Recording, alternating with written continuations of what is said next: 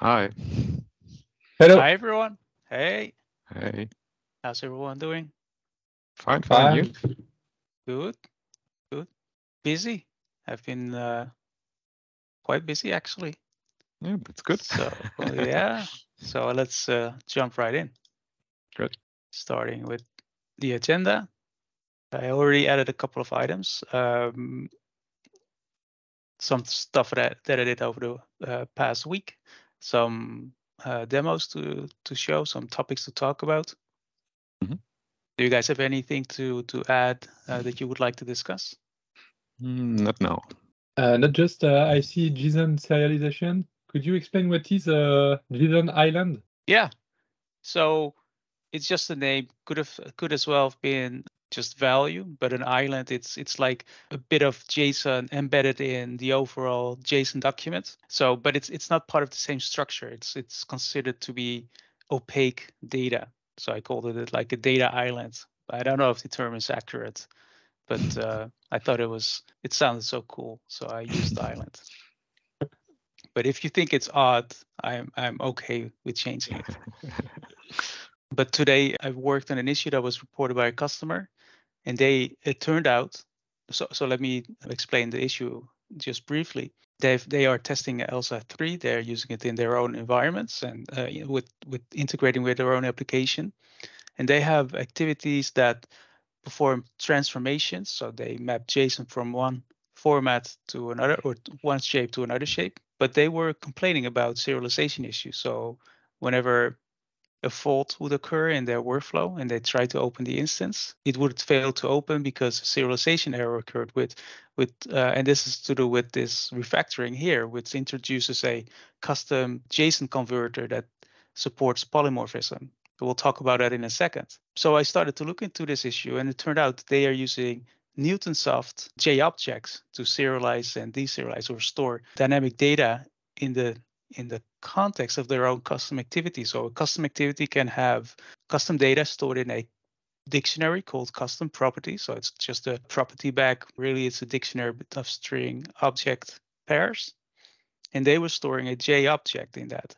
So- but this custom converter that I mentioned, this uh, polymorphic object converter, was trying to serialize it, but J object isn't serializable to a certain extent. But then when you try to deserialize, it just it just fails with some exception. I don't recall which one exactly. So it, it it's not very suitable. So so then I made an update to specifically handle J object instances. And if I encounter if the converter encounters a J object, it will just stringify it and store that string in this island property that you discovered. Okay. And also the, the other way around, if it's going to be deserialized, it will see that it's a J object and then parse that JSON island into a JObject instance. And the point of this custom polymorphic object converter is to be able to round trip objects to and from JSON. And and maybe you're thinking, well, that's not very exciting. I mean, that's what we do on a daily basis, right? But this is about having object graphs that, for example, have properties of type object, which could contain arbitrary items or objects. Point is, if you serialize that without any custom converters and then deserialize it, it will not deserialize it into the original .NET type, but it will deserialize it into JSON objects or JSON elements. Mm. And which is not what what what we want. We want to be able to reconstruct the original object instance of the actual type. So you need to to, to also serialize the type information about the objects being serialized. So that's this uh, that's a one uh, part of the refactoring of JSON serialization. But the reason I started this process is is before this change. If you would in, uh, serialize a workflow instance that contains variables and activity inputs, and let's say they there's two ref, two object references pointing to the same object, and serialize it, then this object would be serialized twice, or how many number of references you would have, that number would the object would be serialized that number of times in the JSON output. So that could be very inefficient if you have a s- a, you know large DTOs and they're referenced multiple times. It could blow up your uh, JSON output significantly. So uh, this fixes that by using references. So if the JSON serializer encounters the same object already being serialized or that was already serialized, instead of serializing it again, it will now output a reference ID, like in Newtonsoft JSON. There, it's uh, it's a simple option that you can enable. System text JSON, you can enable it as well, but in combination with the polymorphic converter, I had to do a, a bit of extra work. Yeah, so uh, it's it's a big refactoring, but uh, now it's it's quite nice uh, if I do say so myself. and I'm particularly pleased with the ability to just be able to output arbitrary objects that are typed as objects in in the workflow state, for example, and then it's deserialized. And plus the fact that it now renders the refs instead of the full object. So it's uh, yeah, it's pretty good. But you know, there may be a few bugs. I encountered a few bugs uh, during past week discovered by uh, this user, and uh, well, it, it's looking good now. Maybe we can take a quick look at at an example. So here, maybe we have some data. Uh, so this is the island thing that uh, that this this customer encountered. So let me open it in a Scratch file here. So what do we have here? We have IDs. So they, these are object reference IDs, so that whenever this object would be referenced elsewhere, it would have ref to this this one. So that's why we now see IDs in workflow states only. It's not included with other um, objects like workflow definitions because there it's not necessary. And also for the designer, it's not very convenient to have this format. So it's that's another part of the refactoring where the implementation of serialization it's more focused and instead of having one shared serialization op- uh, options provider. There's there are now um, specialized abstractions. So there's a workflow state serializer, there's a payload serializer, there's a workflow definition serializer, so that it's also less confusing to understand which when to use what. Be- because before this change, there were various methods on the serialization options provider that were kind of vague uh, so it's it was always a little bit of a puzzle which one to use, and it's and more seriously that that's also more prone to error when you when you use uh, those methods and maybe at some point you change because you run into some some serialization issue, and then if you then make a change, then you don't know what else you may be affecting. So, in anyways, that that's better. This also ties a little bit into automated tests. Uh, there's more test coverage now, which we'll take a look at later on as well. So here let's see. So here here we see the the error that this this this customer encountered, which is and I simulated by just return uh, throwing an error from from a JavaScript activity just to to see what happened with the serialization. But this is all looking good. And then oh, this is not the right example. It seems. Oh, this is not the customer uh, scenario. This is a different test case. But uh, let's see if I can find it. So here, this is a JSON string that they are embedding in their own custom activity. So they have a workflow and then they have a custom activity that has an output called trans, which is short for transformation. So then, and, and that is of type J object. So whenever now the serializer encounters a J object, it will serialize that JSON string in this field and the type, which is J object. And then it's able to round trip as well. But but instead of just deserializing using this type as you would normally do using system text JSON uh, JSON converter, here it it specifically looks for this type, and if it encounters this type, it will just do JObject.parse, and then the parsing this string. So uh, yeah, that's uh, that's uh, everything I have to say about islands. Next topic, workflow context. This is not a new feature in ELSA 3. It it was added some time ago, but it wasn't really finished. And there, there was, for a brief moment, there was a sample application, but it wasn't really complete. So at some point, I removed that. And then a user in the community asked about, do we still have it in ELSA 3? And is there any documentation or something like that? Which there wasn't. So I created an issue. As I started uh, reconstructing the sample application, I encountered a couple of missing fun features of workflow context. So uh, I added those. And I would like to to show you what it's about and how it works. And just, just to summarize, what is a workflow context in this context? Imagine you have a, uh, a workflow that deals with customers. So what would you normally do? Out of the box, you would probably have an activity that loads a customer by some identifier, which could be a correlation ID or some other value, doesn't matter. Maybe you perform some operations, so the workflow executes. Maybe you read some information from the customer or update some settings on the customer. Maybe the workflow goes to sleep. Maybe you have a timer, and then at some point you want to resume the workflow. And at that point, either you know you could store this, the the user object or the customer object in workflow state or some other storage provider, which uh, at that point it would automatically be loaded. But maybe you don't want this stale object. Maybe you just want to have a fresh copy always from the database whenever the workflow executes or resumes. And that's where workflow context providers come in. It's like just provider that executes before your workflow executes. So it provides context to your workflow in the background or uh, you know like ambient values that's just available to your workflow without having to have workflow variables declared in your in your workflow definition. So a, a context provider is it's very it's a very simple API. If you implement one, you have just two methods to implement. One is to load your context, which could be any domain object you like. So it could be a customer, it could be a document, or whatever makes sense in your scenarios. And then it also provides a safe method. So if your workflow makes changes to your domain object, you don't have to manually persist in your database. That would be the responsibility of this context provider that you do have to implement. But it's automatically invoked by the, the runtime. That's the point. So what does that look like? Here, there's uh, here I have an example implementation. It's a class that ultimately implements iWorkflow context provider, which is a very simple interface, as I mentioned. Just you have a load async and a save async, and you get access to workflow execution context for you know in order to to know what customer you want to load. How do you determine this one? Probably it's some information you associate with your workflow instance through a correlation ID, or maybe even through a custom property, and that's the default. And that looks looks like this actually. So so here I have a, a, a sample context provider that loads customers from some customer store that I have here.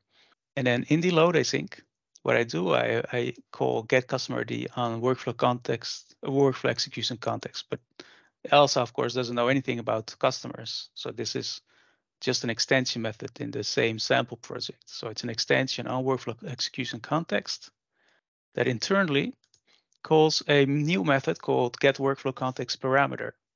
And this is provided by the workflow context module. So to be clear, workflow context is an add-on module that you can opt into, which you can enable. So it, it's not available if you don't enable it. When you when you use the workflow context module, then you get this extension method that internally looks like this. Yes, so so the the, the it just reuses the workflow context execution custom properties dictionary. So if I do if I dig into the get property, then what it's doing is it's just trying to get a value from the properties dictionary. So any activity or your custom modules and activities, they all have access to this property bag and you can store application specific values. And the workflow context module takes advantage of that extensibility point. But anyway, let's let's get back to to this get customer ID. So here it uses this get workflow context parameter. Just to explain what is a workflow context parameter, this will be your customer ID, for example, or document ID or whatever ID. You don't have to use this. You could use correlation ID if, if you want to correlate your workflow against the customer ID. But if you don't, maybe your workflow is associated with more than one context provider, like maybe there's a customer provider and a order provider and shipping provider. You can associate them with different parameters if you if you want. So for now, just suffice it to say it returns the customer ID that we want to use in the context provider. Sorry, that's not the right one. This one. So here we get the customer ID, and then we use this customer ID if it's provided. We use it to get the customer from the database, and this is uh, invoked before your workflow executes, and then by default it won't, will not be executed again during each activity in your workflow, but you can have it executed if you want to by setting a property on your activity that is called something like load, or I don't know the exact name, but it has something to do with load. So you can configure to invoke your provider uh, during each activity if you want to. But normally you, you you don't want to do that and it would cause a lot of database calls potentially or API calls depending on what your uh, provider is invoking. So this will be invoked automatically before a workflow executes. Also when it's resumed, it will be invoked once. And the same goes for save async. So so this will cause your customer to be loaded into the uh, into the workflows context, and then it's available to your workflow. So let's say we have a sample workflow here. It's called customer communications workflow. This is a programmatic workflow. Just for uh, the demo, I also have a version in the designer that we'll take another look at after this one. It's a very simple workflow. It's just basically every five seconds spams the, the customer with an email to try and get them to buy something. So the, the first one is simple message where the customer is welcomed, then they are encouraged to get their credit card ready and they are stressed, you know, the system's trying to stress them into buying something and, and really motivating them to to buy this awesome new product. The workflow will work. I'm not sure the customer will actually uh, buy anything, but that's uh, that's not our concern here. Our concern is how do we get this customer ID? So here, this is an activity called set workflow context parameter. In ELSA 2, that is called set workflow context. Uh, but here, it's it's there's a clear distinction between the parameter that's the input for your workflow context and the actual workflow context, which would be the customer object. And this can this value can come from anywhere. As I mentioned, it could be the correlation ID. Here, I'm just getting it from the workflow input. So when I'm invoking this workflow, I'm going to provide the customer ID as input to the workflow, and the input is called customer ID. And that basically is mapped into this parameter for this custom workflow context provider, which by the way is installed here. So you can imagine you can have mul- you can have multiple ones. So there could also be like an order workflow context provider and maybe a document context provider for for different scenarios.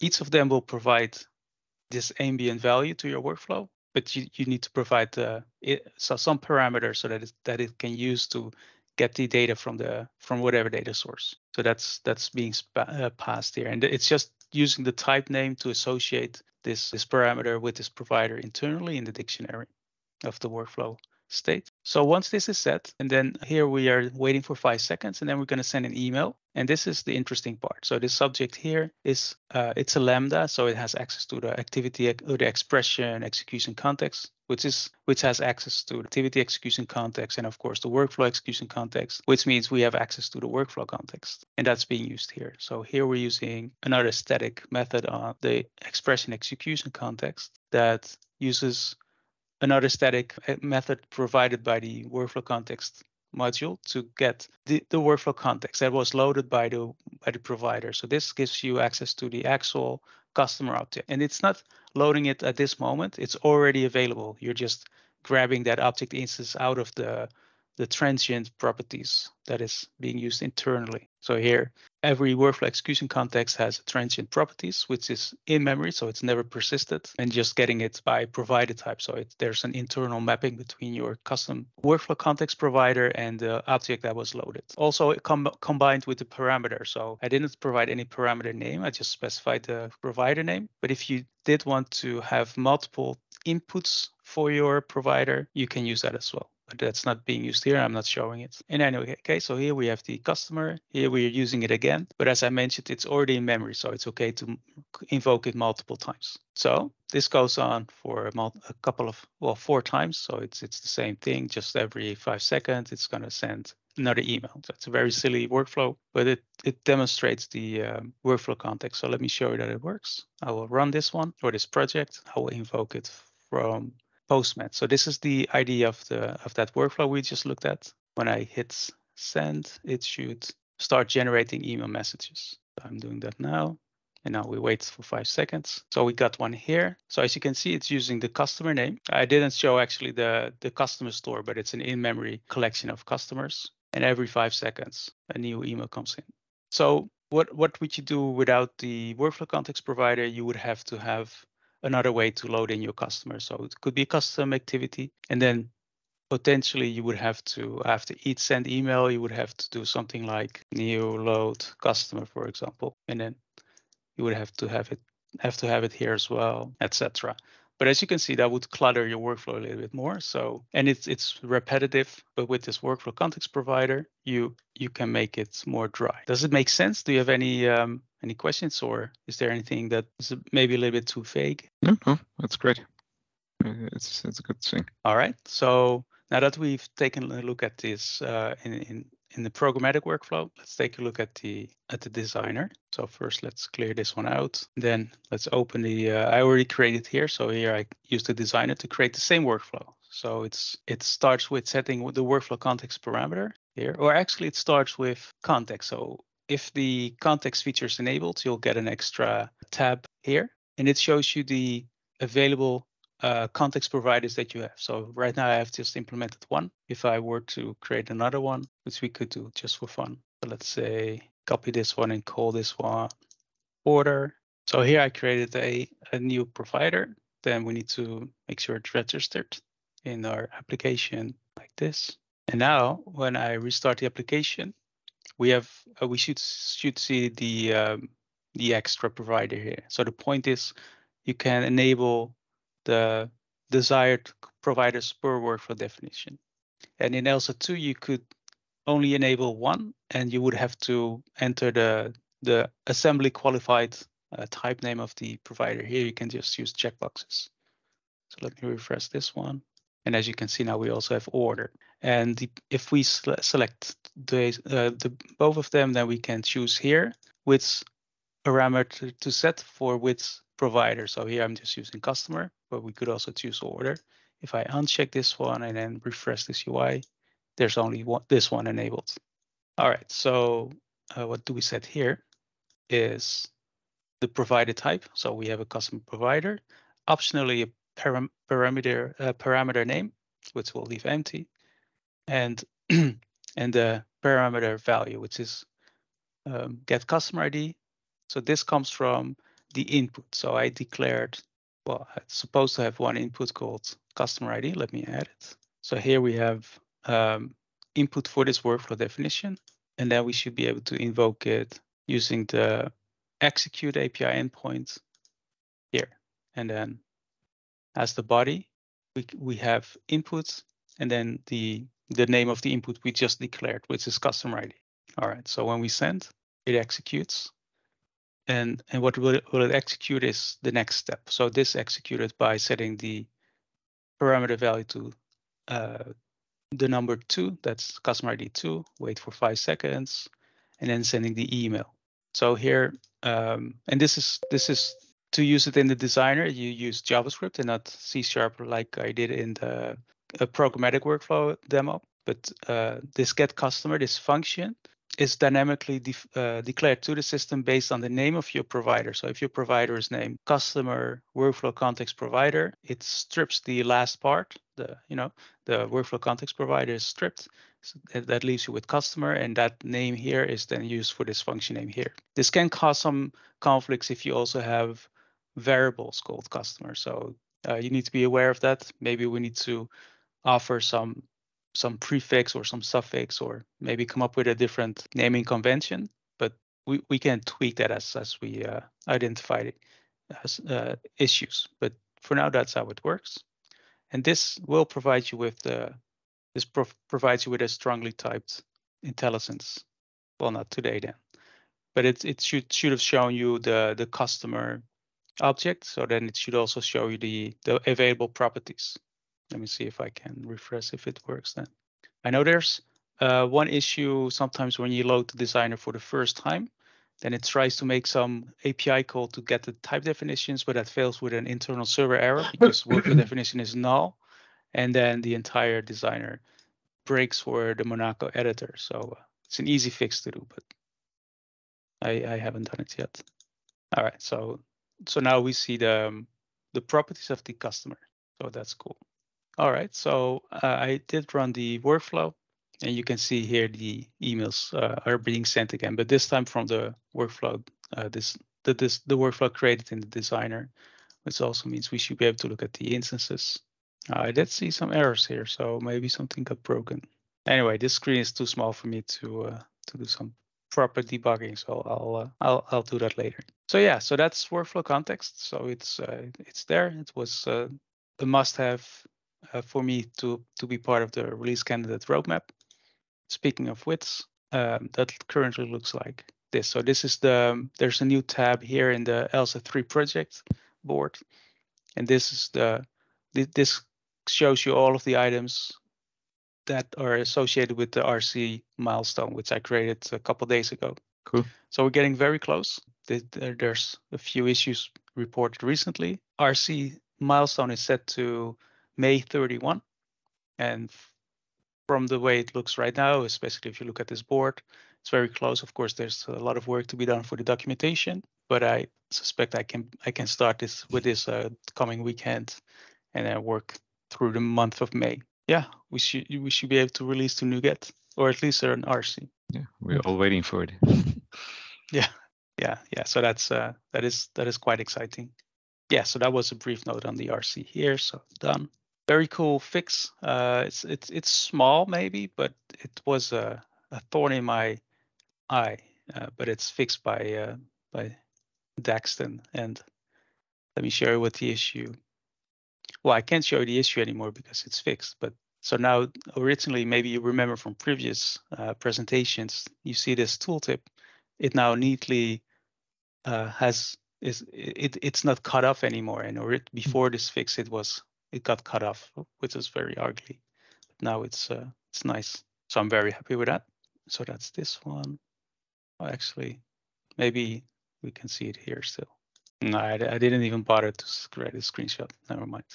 Tests. There's um there's some so there's additional tests being added, and I would also like to show you a cool helper method that helps you test drive workflows. So uh, let's see what that looks. For example, so for example here we have two workflows to test certain scenarios just to make sure that certain constructs work. So with ELSA you you can have implicit joins. So let's say you have a bunch of write lines here, and then they are part of a flowchart.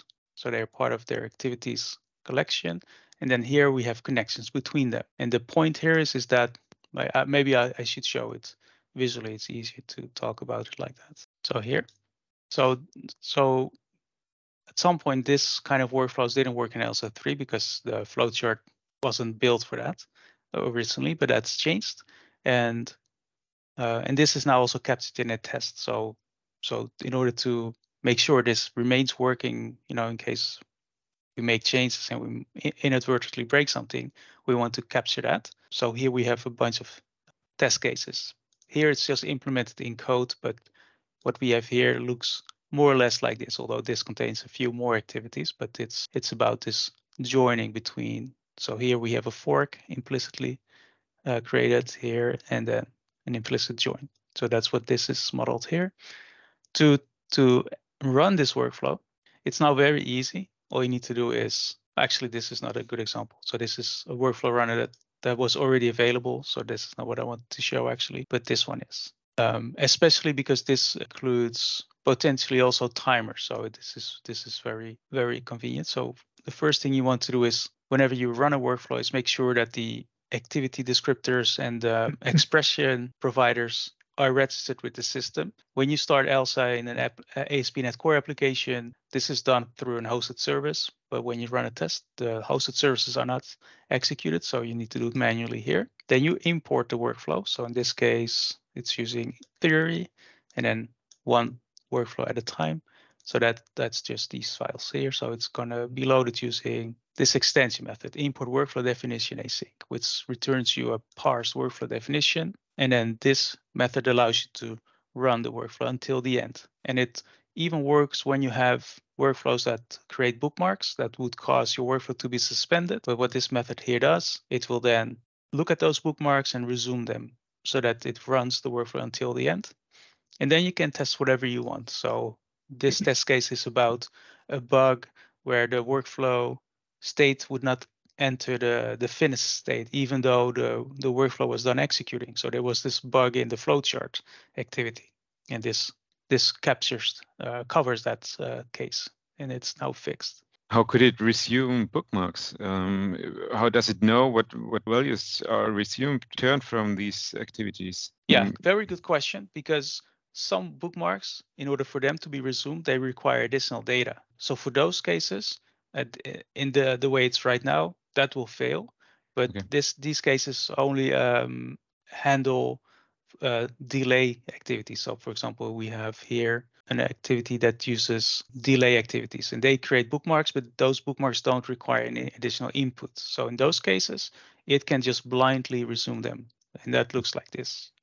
So here we start the workflow using some workflow definition ID, Mhm. and then the result will include any bookmarks that were created. So that we have here, and then we we turn those bookmarks into a stack, which we then loop over, hop one of one uh, bookmark at a time, and then we resume them here. But to your point, we are not including any Additional Any inputs? Uh, Exactly, but as you can see here, so, so, well, some bookmarks require this input, and if you don't provide it, then the, the system will fail. Um, so this this will potentially be extended with where we allow you to provide some callback delegate Mhm. that gets invoked, so that your particular test case can then take a look at these uh, bookmarks and provide the necessary input. So yeah. But cool feature to Yeah. run the tests. Yeah. Yeah, yeah, I think it's very helpful because many many bugs So- occur in certain scenarios in certain constructs of workflows, and, and as we fix them, it's good to to capture them in this way. Is it is it within a separate NuGet package, ELSA testing, or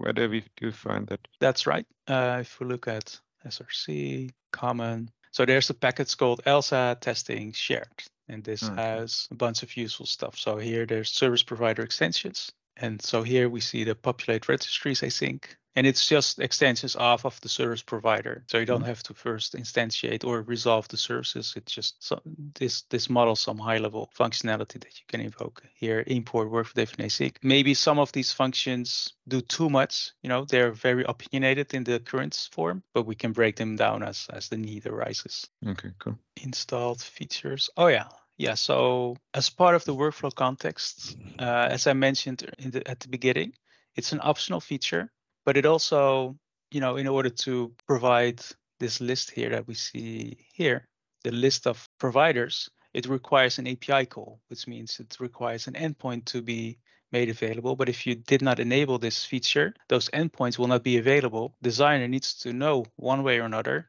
whether this feature is available. Otherwise, we would blindly try and invoke this API. It would not exist because it wasn't enabled. And then you would get client-side errors or API call errors, which which isn't very clean. So in order to to solve that, Elsa server now exposes an API endpoint that lists all of the enabled features, and that looks like this. Here it is. So list features, and it's just, uh, of course, it's a simple array with feature descriptors, and uh, it doesn't contain very descriptive information at this point, but it could be extensible in the future. Maybe with when we build more tooling, if maybe then it becomes useful. But for now, the only thing the designer needs is the name of the feature. So then you can imagine there's a workflow context plugin in the in the stencil application, and it specifically looks to see if the workflow context feature is part of this list or not. So when the designer application starts, it makes a few API calls to get the descriptors. So like what activities are available, what are the variable types and storage drivers, and it gets a list of installed features. Hmm. Then here we see workflow context feature. So if this one is not returned, then you will the plugin will not do anything. It will not initialize the UI here with this context tab. None of this will be available. Cool. So yeah, so and this this is also going to be useful for other plugins and modules that we're going to build, like secrets management and and whatnot. Mhm. Right. So that's installed features. Roadmap to RC we talked about. Yeah. So getting getting very close to the RC candidate or the Mhm. release candidate. Uh, workflow context is new. Let's see what else. Will it still be possible to uh, add activities um, at run, uh, on runtime? So uh, some new activity definitions at runtime. So in in ELSA uh, version two, it wasn't possible. So maybe it will be possible in ELSA three. Yeah, yeah, it should be uh, possible in ELSA 3. So in ELSA 3, we have a thing called activity registry. No, let's see. There's a service that that that is, represents a registry of, of registered activities, but that can be updated at runtime. So the way that Okay. works is what we have here. So here we have the registry. So it's an activity registry, Mhm. and um, So it has add functions. So this function allows you to add a descriptor associated with a with the provider that provided this thing. So mm-hmm. an activity is always associated with a provider, which is convenient because let's say you have this source from which you want to provide activities to the system. Let's say this source gets updated, then you want to refresh, but now you can refresh it just for your provider so that all of the other provided activities from other providers will not have to be re-queried, if you will. So that it's it's like an optimization really. Yeah. Um, and also deletion is, is possible at runtime to delete you know, only adding yeah well there's the, well there's a uh, you can add all of the um, activities associated with provider using clear provider but if yeah. there's a scenario where you need to delete just one activity for whatever reason, we can of course add it. But uh, I didn't find a use case for it, so I didn't add it yet. But mm. we can always uh, add it later if, if necessary. Right now, it's not using any caching either. So, mm-hmm. so but but this activity registry is a singleton, so it's it's yeah. it's already cached, if you will. So so it's also easy to um, you know to just refresh your uh, set of activities when your uh, source provider requires to. Do you have That's any really um, any uh, activity provider in mind that you're going to build? Uh, we're building a system where we um, we're spreading the activities uh, over multiple microservices. Each of these microservices are uh, providing some activities. For example, uh, getting orders from Amazon, getting orders from uh, web shop systems, and so on. And every time a microservice is coming up, maybe a new one. Um, he's um, publishing or he's sending his activities he is providing to, to the workflow engine ELSA and is saying, hey, I, have got some new activities and I want to re register them. And the workflow uh, engine has to show that in the UI. Someone configures a workflow and um, the workflow is being executed maybe by an HTTP request. Asynchronously, um, as the, the, the activity is being executed, um, is um, paused and asynchronously a, the, the request is, is being sent to the microservice. Uh, the activity is uh, being executed and uh, this response is being sent back to the workflow engine asynchronously and is resuming the activity. So possibly, possible it could be on any time a new microservice is coming up and then some new activities. And I don't want to restart the workflow engine every time when a new activity is coming up from, from these microservices. So that would be cool if, if it could be added on runtime. And that's, that's a cool feature here. What wasn't possible in um, ELSA version 2.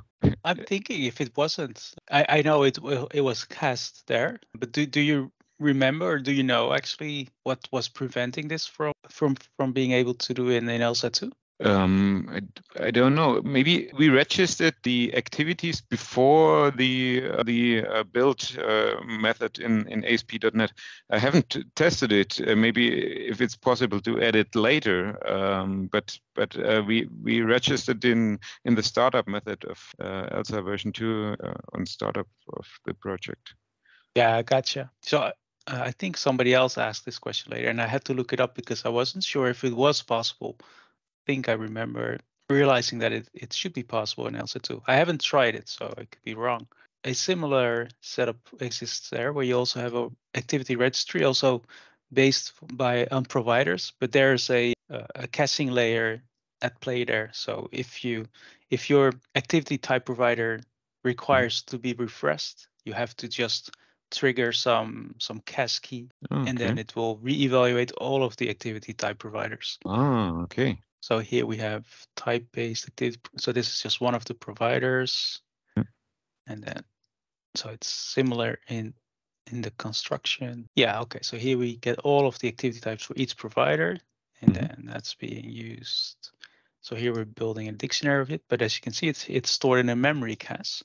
Okay. But it's and and it, we're monitoring some some token using some cache key. So using this cache key, which is a public constant, you should be able to whenever you need to refresh your uh, thing all you would have to do is trigger this key and then all of the providers including yours that gets the information from your from your microservices mm-hmm. would be reevaluate it. So it should be Ah. possible. It would be uh, Okay, cool. So- I have to try it. Yeah.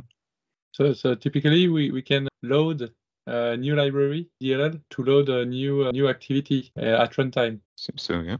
but um, we don't have any uh, any uh, any method to unload uh, the, the library.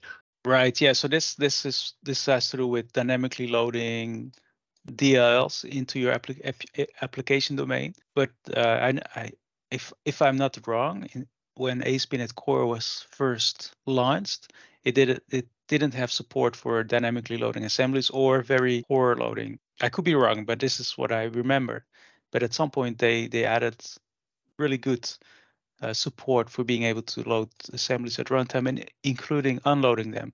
I haven't tried it, so maybe I'm uh, I'm mistaken, but uh, I think there's there's good support for that now. And in fact, I I want it's something I want to do for Elsa too. Uh, not Elsa 2, but I want to use it for Elsa as well to be able to have a NuGet packet somewhere or some DLLs maybe even that you can just point to and then load it in memory or into your application at runtime and, and basically have modules dynamically installed into your system without having to redeploy. Whether that's a good idea for your case, uh, that you know that depends on a case by case basis because it's also a little bit as as if you are adding code in production at runtime, Mhm, which is mhm. probably not a good idea. But it's it, I think at least it should be an option for for maybe those use cases where you do want to be able to do so. Yeah, and uh, as I understand, in .NET Core, there is not the same notion as uh, app domain, and but there is different uh, library and frameworks that allow us to create a, a plugin architecture,